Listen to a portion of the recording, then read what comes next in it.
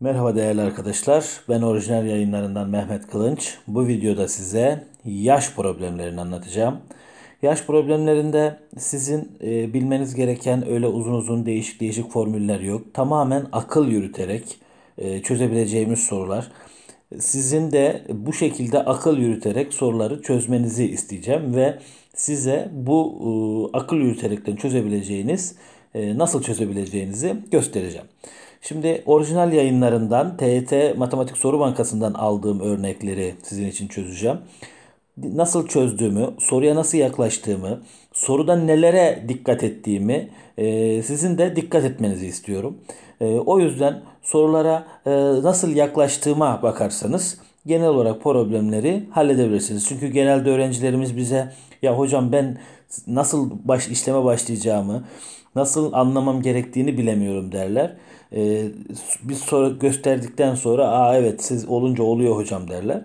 Sizden ricam soruları nasıl yaklaştığıma bakın. Neye nasıl x dediğimi, y dediğimi, a dediğimi, b dediğime bakın. Gerisini halledeceksiniz. İlk örneğimize bakalım. Bugünkü yaşları toplamı 35 olan 3 kardeşin 4 yıl sonraki yaşları toplamı. Şimdi biz 3 kardeşiz. 3 kardeş. Bu 3 kardeşin her biri e, 4 yıl içerisinde artı 4 büyümeyecek mi kardeşim? Büyüyecek. E şimdi normalde neydi benim yaşlarımın toplamı? 35'ti. 4 4 4 toplam 12 arttı. Ne oldu? 47 oldu. Bunu formülle falan ifade etmeye gerek yok. Sen kendini ve çevrendekileri günlük yaşantını düşünerek 4 yıl sonra yaşları toplamının ne olacağını söyleyebilirsin. Bunun için dediğim gibi formüle gerek yok arkadaşlar. Formülsüz problemler, formülsüz matematik diyoruz. Diyor ki iki arkadaşın 5 yıl önceki yaşları farkı 8'dir. Ya bu iki arkadaşın 5 yıl önceki yaşları farkı 8 ise şimdi de 8 değil midir yahu? Hep 8'dir. Değişir mi? Küçük olanın daha hızlı büyüyüp de büyüğü geçme yakalama şansı var mı? Yok kardeşim. 5 yıl sonraki yaşları toplamı 42'dir diyor. Hmm.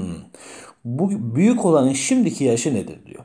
Şimdi yaşları farkı 8 ise küçük büyük. Küçüğün yaşına x dersem büyük olan x artı 8 değil mi? Şu anda. 5 yıl sonraki yaşları toplamı 42'ymiş. E şimdi 5 yıl sonra 42 olacaksa ikisi de artı 5 artı 5 büyüyünce 42 olacaksa e şu anda şimdi bunların yaşları toplam 32 değil midir? Yani 5 yıl sonra ikisi de 5 yaş büyüyecek. Toplam 10 artacak 42 olacaksa şimdi 32'dir. O zaman nedir kardeşim? Bunların toplamı eşittir 32. 2x artı 8 eşittir 32'den. Buradan 2x eşittir 24. Buradan x eşittir 12 olacaktır. Büyük olanın şimdiki yaşı nedir diyor. Dikkat et büyüye x artı 8 demiştin. Bu tarz sorularda hangisi büyük yani bulduğun x'i hemen gidip e, şıklarda işaretlememek gerekir. Bakın şıklarda 12 de var. Ama 12 küçüğün yaşı biz büyüğün yaşı x artı 8. O halde büyük çocuk kaç yaşındadır? 20 yaşındadır. Doğru cevap Ceyhan olacaktır. Bu şekilde dikkat etmemiz gerekir. Gelelim başka soruya.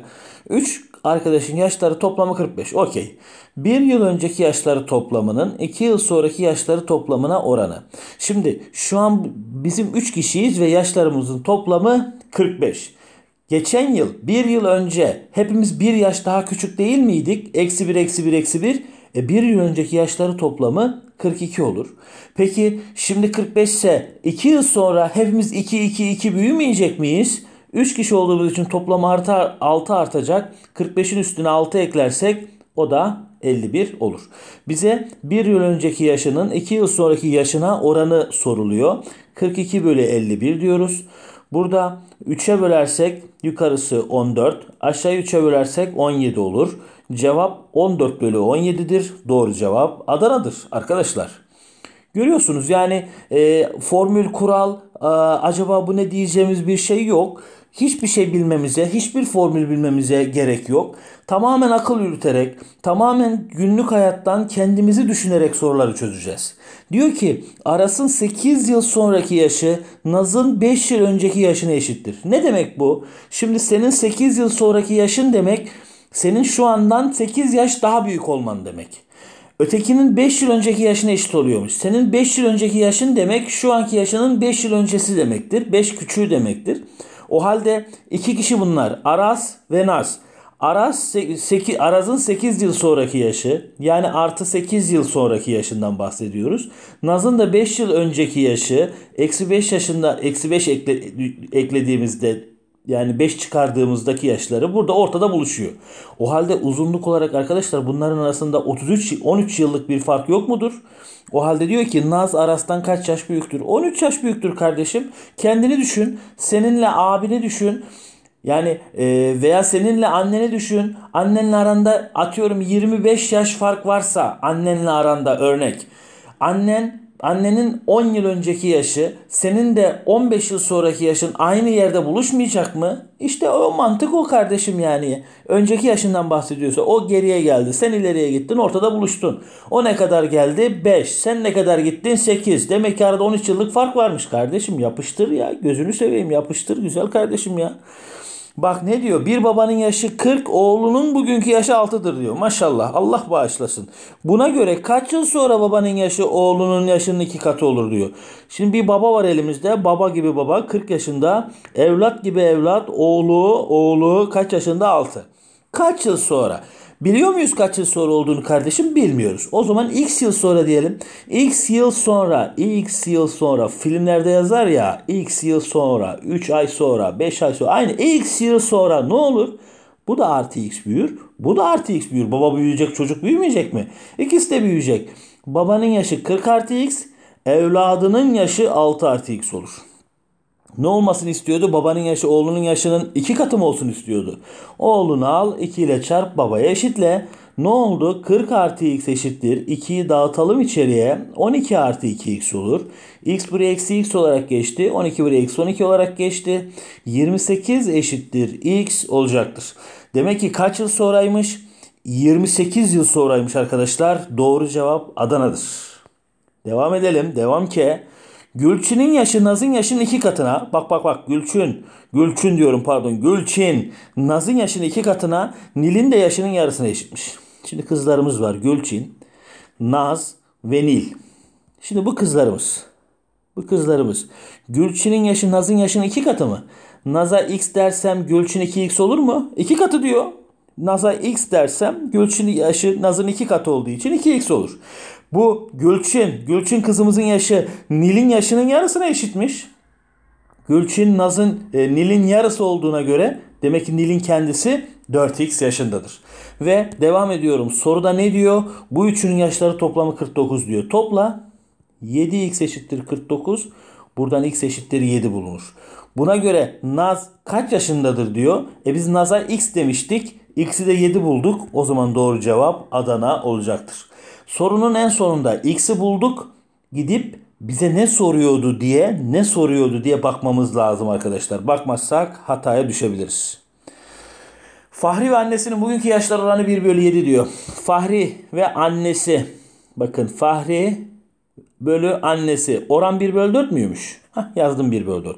Oranın 1 bölü 4 olması Fahri 1 yaşında annesi 4 yaşında demek değildir herhalde. Ne demektir peki? Fahri 1K ise annesi 4K demektir. 8 yıl sonra çok güzel. Aradan 8 yıl geçti. Fahri de 8 yaş büyüdü. Annesi de 8 yaş büyüdü. Ve bu oran ne olmuş? 3 bölü 8 eşit olmuş. Yani K artı 8 bölü 4K artı 8 oran 3 bölü 8'miş arkadaşlar. E oran orantı yap işler dışlar çarpımı ne olacak? 8K artı 64 eşittir 12K artı 24. 24 buraya geçti 40. 8K öbür tarafa geçti 4K. Buradan K eşittir 10 bulundu. Fahri ile annesinin bugünkü yaşları toplamı. Kardeşim kardeşim en başta Fahri ile annesinin yaşlarına 1K 4K dememiş miydik biz? 1K artı 4K ne yapacak? 5K yapacak.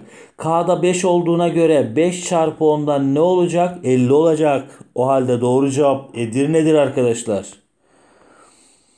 Soruya başka soruya geçtik. Özge'nin yaşı bugünkü yaşının 4 katına eşit olduğunda bir Özge varmış.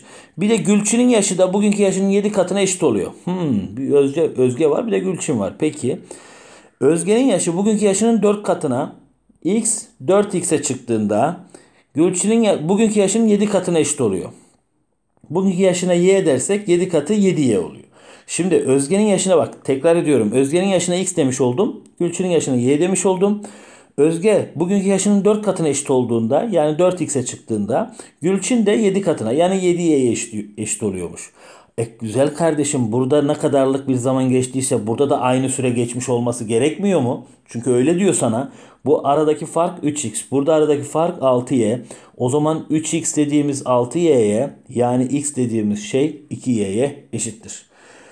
Diyor ki ikisinin bugünkü yaşları toplamı aşağıdakilerden hangisi olabilir? Birine x birine y demiştik. Müsaadenizle x'in yerine 2y yazıyorum. Yazınca ne oldu? 3y oldu. 3y sana ne anlama geliyor? Sana ne ifade ediyor? 3'ün katı olduğunu ifade ediyor. Bak bakalım şıklara. Hangisi 3'ün katı? Tek şık var 30'dur. O zaman yapıştır. Doğru cevap Bursa'dır. Gelelim başka. Başka. İkiz çocuklara Allah bağışlasın. İkiz çocukları olan bir ailede annenin yaşı çocukların yaşları toplamının 3 katıymış. Baba ise anneden 4 yaş büyükmüş. Peki baba var. Anne var. Bir de ikiz çocuk var. İkiz çocuktan ne anlıyorum ben? Yaşları aynı olan iki evlattan bahsediyoruz. İkiz çocuğun yaşları toplamına x dersem. Ee, ne olur? Annenin yaşı çocukların yaşlarının 3 katıydı. 3 katıydı. Peki 3 katıysa anne 3x olur. Baba da anneden 4 yaş büyüktür diyor. O zaman baba da 3x artı 4 olur. Anne ile babanın yaşları toplamı 76 olduğuna göre diyor. Şunların toplamı neymiş? 76'ymış güzel kardeşim. 6x artı 4 eşittir 76 ise 6x eşittir 72. Ulan buradan x eşittir 12 çıktı. Çıktı. Çocuklar kaç yaşındadır diyor. İki çocuğun yaşları toplamı x'ti yani 12 idi. Ama dikkat bunlar ikiz çocuktu. İkiz çocuk olduğuna göre bunlar 6'şar yaşında iki çocuktur. Allah bağışlasın doğru cevap Bursa'dır. Vay vay vay vay. Görüyorsunuz formül yok, kural yok, bir şey yok kardeşim. Akıl yürütüyoruz ya, akıl yürütüyoruz. Yürüt, sen de yürüt. Sen de yürüt kardeşim. Diyor ki Mert'in bugünkü yaşının Yiğit'in bugünkü yaşının oranı 2 bölü 3. Mert bölü Yiğit neymiş? 2 bölü 3'müş. Şimdi sen buradan ne anlıyorsun? Mert 2 yaşında, Yiğit 3 yaşında anlamıyorsun. Ne anlıyorsun? Mert 2'nin katı, Yiğit 3'ün katıymış maşallah. Diyor ki Mert Yiğit'in bugünkü yaşına geldiğinde. Şimdi Mert e, Yiğit buna tekrar bakıyoruz. Mert Yiğit'in yaşına geldiğinde yani 3K olduğunda. Şimdi arkadaşlar Mert 2K'dan 3K'ya çıktı. Yani K arttı. O zaman Yiğit de K artmayacak mı? Aynı. O büyüdü. O büyümeyecek mi? O da büyüyecek. Altta kalır mı? Onun yaşı da 4K olacaktır. Geldiğinde Mert ile Yiğit'in yaşına Mert'in yaşının Yiğit'in yaşına oranı nedir diyor. Aha bu oranı soruyor işte sana. Aha aha K'lar gitti. Cevap 3 bölü 4'tür. Bakıyorum nerede var? Bursa'da var. Doğru cevap Bursa'dır arkadaşlar. 6 yaşındaki Cem annesinin yaşına geldiğinde annesi 70 yaşında olacakmış. Allah uzun ömür versin. Bir Cem var. Bir de annesi var. Bakın bir de annesi var. 6 yaşındaymış Cem. Annesi, annesini biliyor muyuz? Bak bakalım soruda bir şey var mı? Yok. O zaman annesine X dedim. Bilmediğimize X diyoruz yahu. Şimdi Cem annesinin yaşına geldiğinde yani X yaşına geldiğinde annesi 70 yaşında olacakmış. Allah bağışlasın. Allah ömür versin. Alt, o zaman Cem'in yaşı 6'dan X'e çıktığında annesi de X'ten 70'e çıkıyor. Şimdi burada arkadaşlar şurada geçen süreyle burada geçen süre aynı değil mi? Yani e, Cem'in son yaşından ilk yaşını çıkarırsam x eksi 6 annesinin son yaşı 70 ilk yaşı x 70 eksi x bunlar birbirine eşit olması gerekmiyor mu? Buradan eksi x bu tarafa artı x olarak geçer. Eksi 6 artı 6 olarak geçer. 2x eşittir. Ne olur? 76. Buradan x eşittir. 38 bulunur. Annenin şimdiki yaşı x yani 38 doğru cevap Bursa olur. Veya şöyle de diyebilirdik. Burada e, anne ile Cem'in arasındaki yaş farkı neyse burada da aynı fark olması gerekmiyor mu der. Yine x eksi 6 buradaki fark eşittir buradaki fark. 70 eksi x diyebilirdik. Günlük hayattan düşünün kardeşim. Günlük günlük hayattan olayı basite indirmeye çalışın. Eğer problemleri bu şekilde basite indirebilirseniz halledersiniz. Yoksa her şeyi formülle, her şeyi işlemle uzun uzun uzun yapmaya kalkışırsanız öyle gözünüzde büyütürseniz e, işin içinden zor çıkarsınız. Ha işlem gerektiren sorular var mıdır? Vardır. Çok yoğun matematik işlemi gerektirebilir mi? Gerektirebilir ama genel hatlarıyla şu an ÖSYM'nin bakış açısı çok işlem değil. Sade, öz, günlük hayatta karşılığı olan e, işlemlerdir. E, o yüzden soruyu anlamanız ve bu şekilde basit, sistemsel olarak güzel işlem yapabilmeniz emin olun soruların %80'ini çözmenize yetecektir diye düşünüyorum. O halde devam edelim. Devam edelim. Durmayalım. Faruk ve Ayhan'ın bugünkü yaşları toplamı 89. Bir Faruk var, bir Ayhan var. Bakın hep yaptığım şey o. Ayhan Faruk'un bugünkü yaşına geldiğinde ikisinin yaşları toplamı 127. He. Şimdi yaşları toplamı bu ikisinin toplamı 89'du. Yaşları toplamı nereye çıktı? 127'ye. Şimdi biz iki kişiyiz. Ben Faruk olayım sen Ayhan ol. Şimdi sen ne kadar büyüdüysen ben de o kadar büyümedim mi? E toplam 89'dan 127'ye çıktıysa bunu ikimiz de yükseltmedik mi? Peki 127'den 89'u çıkarırsam 17'den 9, 7'den 9 çıkmaz. Komşuya gittim bir tane onluk ver dedim. 17'den 9 çıkardı. Kaldı 8. Değil mi? 17'den 9 çıkarsa 8. Burada 1 kaldı. 1'den 8 çıkmaz. Komşuya gittim onluk aldım. 11'den 8 çıktı. 38. Ne oldu? E, 38 artmış. E, kimin, kim arttırdı bunu? Sen arttırdın ben arttırdım. Kusura bakma. O zaman ikiye bölersek bunu ikimiz de 19 yaş büyüdük demektir bu. O halde ikisinin yaşları farkı aşağıdakilerden hangisidir diyor. Bu nereden çıktı şimdi? Bu nereden çıktı? Bu 19 yıl geçmiş aradan. E şimdi ben senin yaşı sen benim yaşıma geldiğinde ben de bilmem nereye gittim. E sen benim yaşıma geldiğinde dediğine göre ikimiz de, sen 19 yaş büyüyerekten benim yaşıma geldin demektir. E bu da bizim aramızdaki yaş farkı demektir. Bakın Ayhan Faruk'un yaşına geldiğinde diyor. Yani buradaki 19 yıl artış Ayhan'ın Faruk'un yaşına gelme süresidir. Yani aralarındaki fark demektir güzel kardeşim. Doğru cevap Bursa'dır 19'dur. Geliyoruz Özge ve Tuğba Hanım'a. Özge ve Tuğba'nın bugünkü yaşları toplamı yaşları farkının 7 katına eşitmiş. Özge, Tuğba. Şimdi yaşları farkı neyse bilmiyorum. Bunun 7 katına eşitmiş yaşları toplamı. Ya ne olabilir diye düşünüyorum. Farkı x toplamı 7 katı 7x. Hmm. Aralarında x fark olacak. 1x fark olacak. Toplamı 7x olacak. E bu ne demektir? 4x'e 3x demek değil mi? Toplamları 7, farkı 1. Peki Tuğba Özge'nin bugünkü yaşına geldiğinde Özge Tuğba'nın yaşına gidiyor. O zaman Özge 3x Tuğba 4x demektir. Çünkü Özge Tuğba'nın yaşına geliyor. İlerlemeden bahsediyoruz. O zaman küçük olan Özge. Ee, yaşları toplamı hangisi olabilebilir diyor. Olabilebilir. 3x 4x'e mi dönüşecek? Peki burada x'lik bir artış olduğu için Tuğba'da 5x'e dönüşecek demektir. O da 4x'ten 5x'e. E bunların yaşları toplamı 9x olacak. E 9x ne demek? Sen 9x'ten ne anlıyorsun? 9'un katı olduğunu anlıyorsun. Şıklara baktığında 9'un katı olan bir tane şık var. O da nedir? Ceyhan'dır. Doğru cevap Ceyhan diyoruz arkadaşlar. Ceyhan, sıcak Ceyhan. Adana'nın en sıcak yerleridir Ceyhan. Evet devam edelim. Coğrafyaya bağlamayalım.